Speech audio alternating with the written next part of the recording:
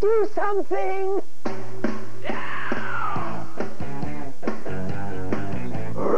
Sorry, I didn't mean to touch your knee there, but now that I have. we really broke the ice.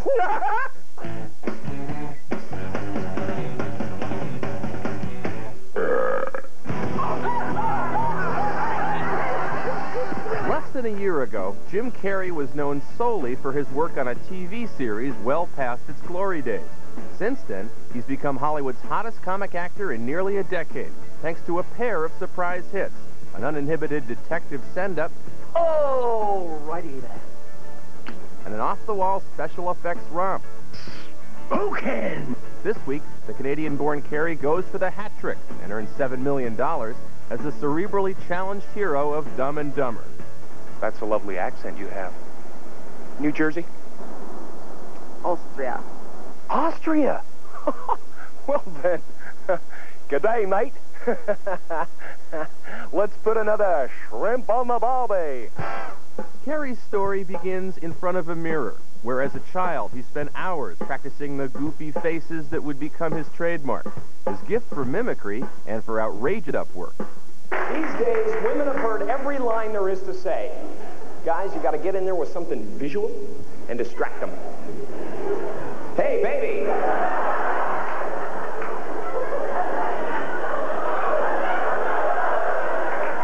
Come here for a second.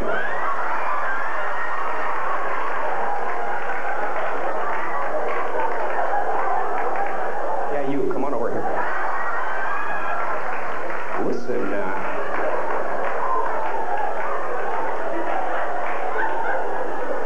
Listen, do you, uh, do you find it unusually windy today? What was your act like back then? You were doing a lot of impressions. You were doing kind of tributes to famous people. I think is what you said. Yeah, I did a lot of, uh, it was it was Vegas-y kind of, uh, Can I say crap? Seems like no matter what happens, no matter how bad things get, Jimmy Stewart can look at it in a positive way.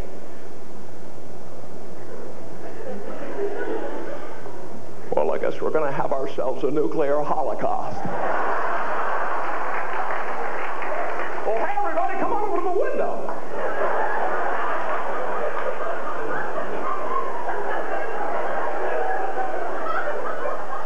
Look at that mushroom cloud.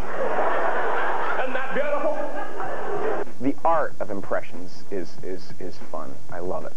I love it. I just love to be able to like go to a party, you know, and, and, you know, after a while, after you get established as doing impressions, you know, as go to a party and say something that's really, truly original and funny, and have everybody, everybody say, who's that supposed to be?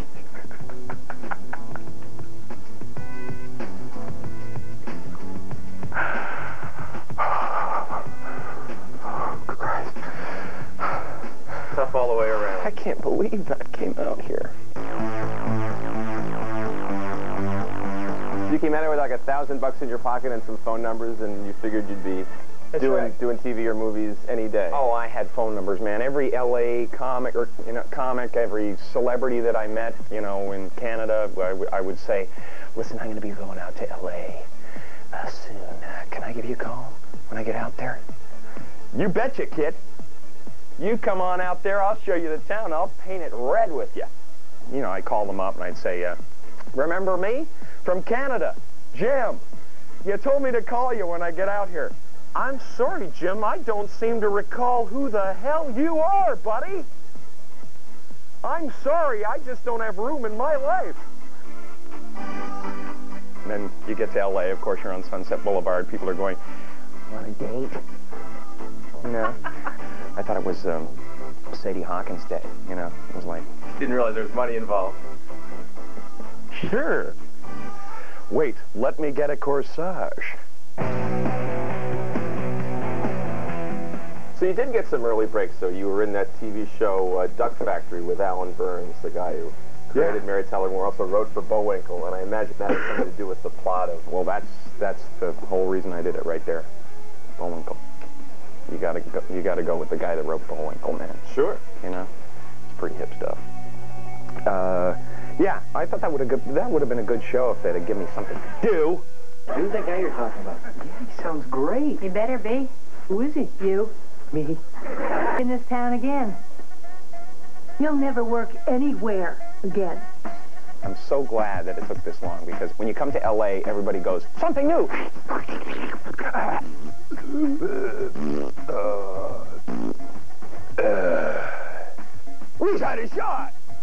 It's all over. He's had a shot. Like that, and then they wait until, you know, a generation goes by and everybody forgets, and they give you another shot.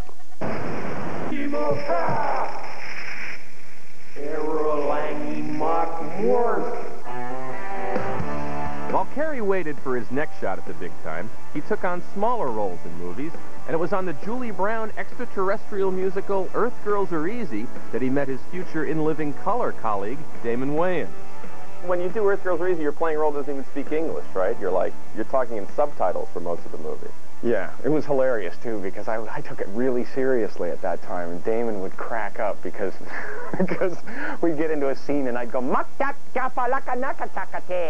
like that, and and I'd go, "Hold it, wait." I meant tucka tucka hee ho. I, I meant to say tucka hee ho. Can we do that again? This isn't it. You must have thought you were nuts. Yeah. And you know what?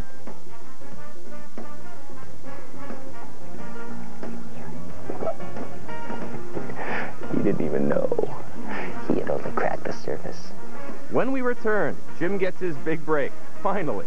We'll show you the hits that made him a movie star and take a look at Dumb and Dumber. Hold that plane! Sir, you, you can't go in there. It's okay. I'm the limo driver.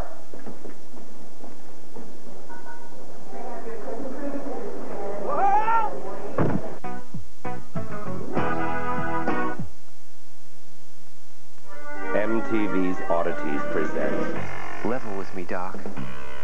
Is there anything you can do? I'll be honest with you, Jim. Your condition is unique.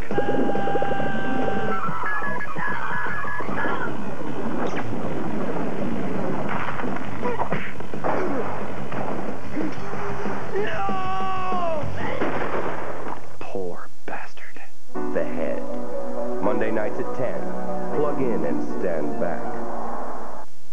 The way to Catherine's heart Pop, pop, pop. It was electric. is through her brain. Nuclear fusion. Unfortunately, Ed's no Einstein. Fortunately, Yes? he is. Puts the two right people together and watch them fall in love. Oh! That is jiving. Meg Ryan, Dramathal. E equals MC squared. I hope so. IQ, rated PG. Starts Christmas Day at theaters everywhere. This is Bruce Smith's shoe, man. Wait a minute. This is this is Rod Woodson's shoe. I have visions of Rod Woodson. I see him lurking like a shadow. I sense he's somewhere lurking. I hear his heartbeat. Ba boom. Ba-boom. Rod,